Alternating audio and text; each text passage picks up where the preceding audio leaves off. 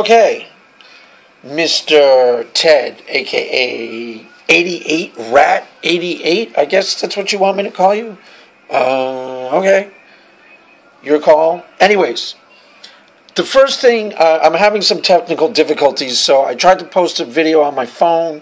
It may upload, so this may be a repetition of some of that. If it is, just ignore either this or that. Uh, but I I don't know. I'm having some sort of weird issue. I tried to upload the video yesterday on my phone. Didn't work. Um, so I'm redoing some of what I said. The first thing that you need to know, okay, these these are beginners videos. You know, you said that they're kind of rudimentary. They're they're they're not. In, they're more like doodles. Okay, the first video that you listened to was uh, one of the first videos that I ever made. Uh, this is I'm sort of experimenting. I'm doing this in a couple different YouTube outlets, and I'm sort of experimenting with it in the way that I throw these ideas out there. The video that you responded to, I didn't wasn't even necessarily going to post that. Um, it's not something that I wrote in stone, and this is like this is my ultimate say on the matter. It was more just kind of like a doodle that I threw online. It was just like, well, let's just see how this lands. Um, I mean, you're free to respond to them as you want. I just want you to keep that in mind as you're listening to these videos. There will be a time, and if there was, if I had some way to separate between this is like, you know, a more official version of what I'm trying to say, and this is kind of just me, you know, expounding, trying to go into a topic. The topic at hand, I'm going to go into in a lot more depth, and that is, you know, are you the non believer complicit in your not knowing? Now, keep in mind, this is the important part. You yourself are very, very different than your peers. Like I've told you in the past, okay, you are the exact type of person I started doing these videos for.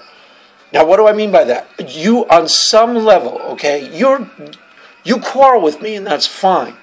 But on some level, you are an honest seeker of the truth. The first thing you do that's different is you listen to my videos. Okay, most of your peers don't really listen to the video. They'll debate me and they'll say they listen to the video and they'll debate me on things other than what was said in the video. And they won't even really argue with what I'm actually saying or doing. If you look at my Twitter feed, most of the people are completely dishonest. You're in a completely different camp. You're about in the one, the 10% of someone who's honestly seeking the truth. Now, the, the, the subject that I covered doesn't really relate to you. What I've said in the past to you, I will say again. Because you are honestly seeking the truth on some level, you can be dishonest, but not so dishonest that we can't even get anywhere. I will literally prove to you, to your satisfaction, God's existence. Promise you. How can you be so sure? Because I'm telling you the truth, the God's honest truth. And if you keep listening to my videos honestly, you will come to know that I am telling you the truth. I will prove it to you at one point or another to your intellectual and emotional satisfaction. I promise you, if you keep listening to the videos. How can I be so sure? Because on some level you are honest. Okay? Your peers are not. They're not really listening to the stuff I'm saying. They're debating they're debating things that I'm not even getting to. I'm not even saying. You at least listen to the actual video and you, you spin a little, like with the murder thing, we'll get to that. You know, you can be dishonest, but not on purpose. You know, you're not intentionally being dishonest. You have already done what I've told that video, instructed Pete the atheist in that video to do. You've already humbled your heart to some degree.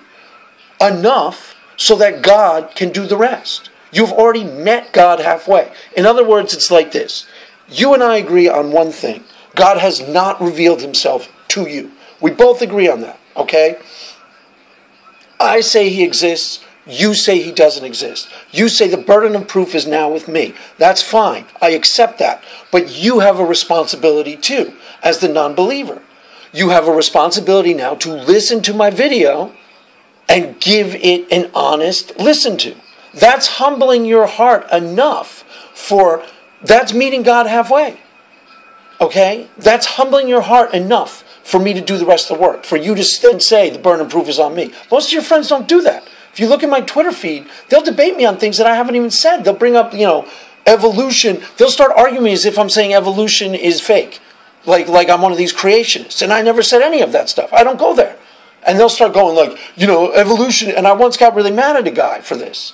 Okay, you don't do that. You listen honestly to what I'm saying. Now, you spin, but I don't think you're doing it on purpose. Okay, I'm going to stop here and I will make a second video, but I have to make sure that these actually download because I'm having difficulties.